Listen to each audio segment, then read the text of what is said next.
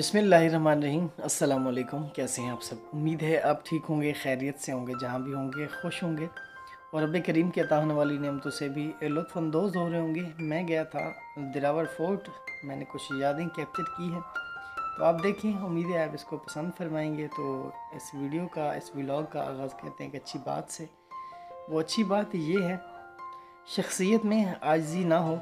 तो मालूम में इजाफ़ा इल्म को नहीं, बल्कि तकबर को जन्म देता है। जी बिल्कुल, अगर आपके पास इल्म है तो उस पर तकबर नहीं करना चाहिए, क्योंकि अल्लाह ताला को तकबर पसंद नहीं है। अल्लाह ताला को आजी पसंद है तो आजिज़ बंदे बन जाए तो अल्लाह भी आपसे राज़ी हो जाएगा।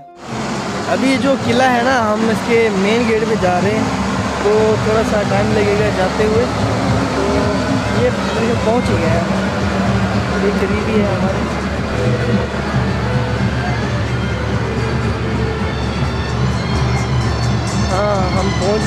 उसके मेन गेट में तो वो भी आपको नज़ारे दिखाते हैं। वैसे आपको शोर भी बहुत आ रहा होगा।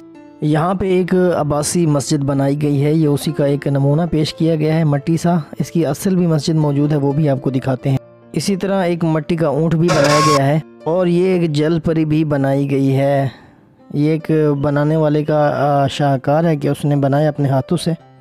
और जिसने ये मस्जिद बनाई है, बहुत ही कमाल बनाई है, यकीन माने कि दिल खुश हो जाता है ऐसी चीज़ को देख के। अब देख रहे हैं पीछे क्या मंज़र नज़र आ रहा है यार, कमाल है। इंजॉय कीजिए आप। अब देख रहे हैं बहुत सारे लोग आए हुए हैं। ये है मेन गेट बहुत सारा रश भी लगा हुआ है। एक मस्जिद दिखाई है ना मुझे जिसने मट्टी का मॉडल बनाया है। तो उसकी ओरिजिनल भी एक मस्जिद बनी हुई है, वो भी आपको दिखाते हैं, लेकिन ये किसी की मेहनत थी। अब इस किले की तारीख़ के बारे में जानते हैं। ये भावलपुर से 130 किलोमीटर के फासले पर मौजूद है। दरावड़ किला सबसे पहले नौवीं सदी ईस्वी में सोलंकी कबीले के एक हिंदू राजपूत हुक्मरान राय जज्जा सोलंकी ने तामीर किया था, जिसने जैसलमेर और बावलपुर के बादशाह रावल देवराज भाटी को खराज तहसीन पेश किया था।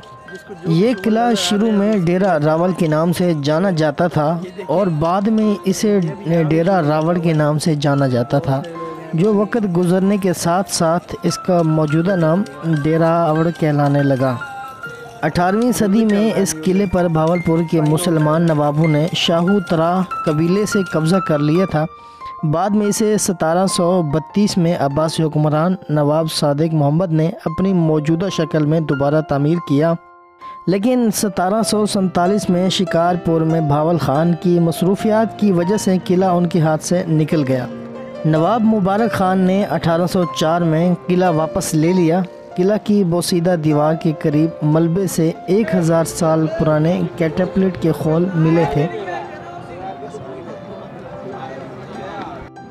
रियासत भावलपुर के बारहवें और आखिरी हुक्मरान नवाब सादिक मोहम्मद ख़ान अब्बासी पंजुम 1904 में किला में पैदा हुए।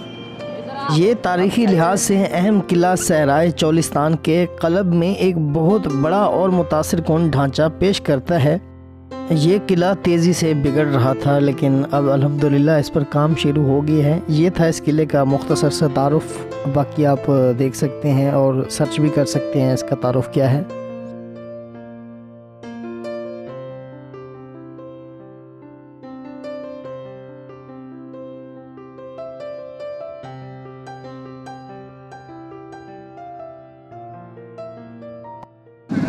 पहले मैंने जो आपको मट्टी की मस्जिद दिखाई है ना, अभी उसी की तरफ़ जा रहे हैं। ये जहाँ से हम जा रहे हैं ना, ये दीवार आप देख रहे हैं। ये पहले नहीं बनी हुई थी, अभी नहीं बनी है।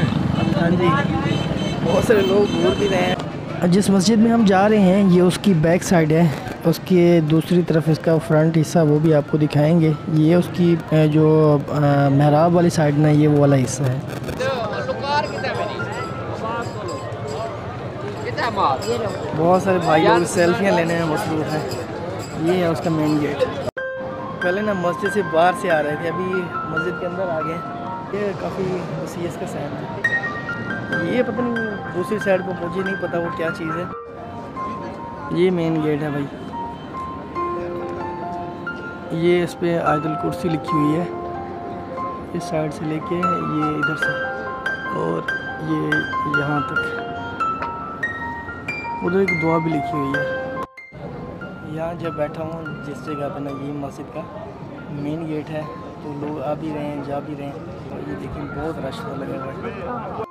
माशाल्लाह, वैसे तो लोग ऐसे आम दिनों में नज़र नहीं आते हैं। जब भी मेला ठेला लगता है तो देखिए मस्जिद भरी बड़ी है लोगों से। बहुत सारे लोग सो रहे हैं। आप देखते होंगे, बहुत सारी मसाजिद देखी होंगी।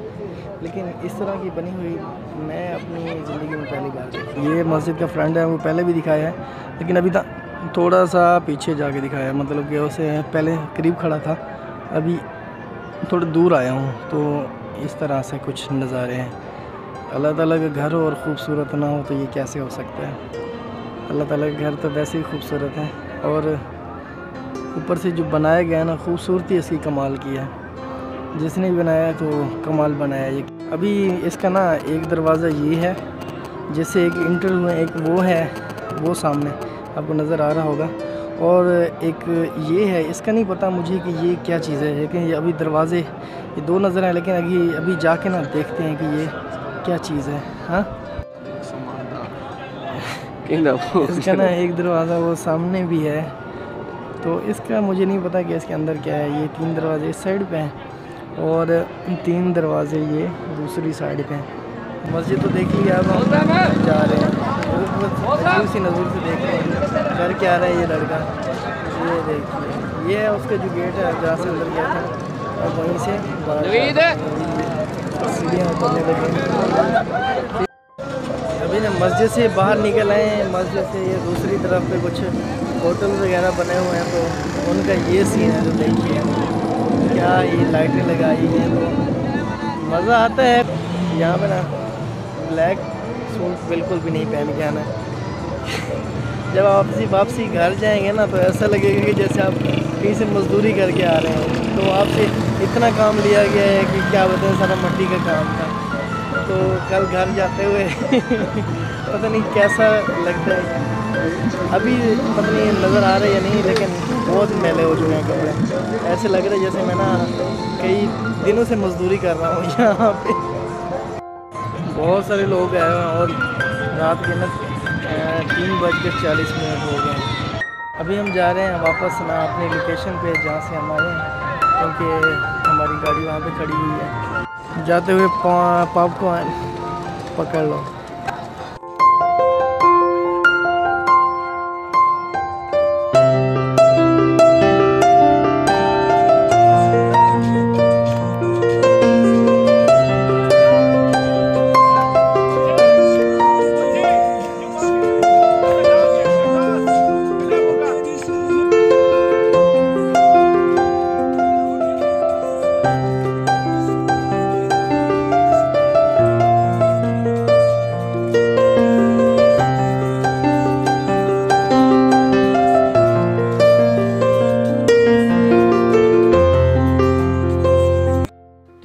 आपने देखा होगा कि ये एक यहाँ का कल्चर डांस होता है, वो कर रहे थे। लेकिन मैंने उसकी आवाज़ को थोड़ा म्यूट कर दिया क्योंकि वो कॉपीराइट का मसला हो सकता है। तो उम्मीद है कि आपने मेरी इस वीडियो को खूब इंजॉय किया होगा। तो मैं कभी कभार ऐसी जगहों पर जाता रहता हूँ। तो और भी जगहों पर जाऊँगा, उम्मीद है मेरी आपको दूसरे वाली वीडियोज़ भी पसंद आएँगी। तो अब इजाज़त दीजिए, अपना बहुत सारा ख्याल रखिए दो में याद रखिए। फिर मान अल्लाह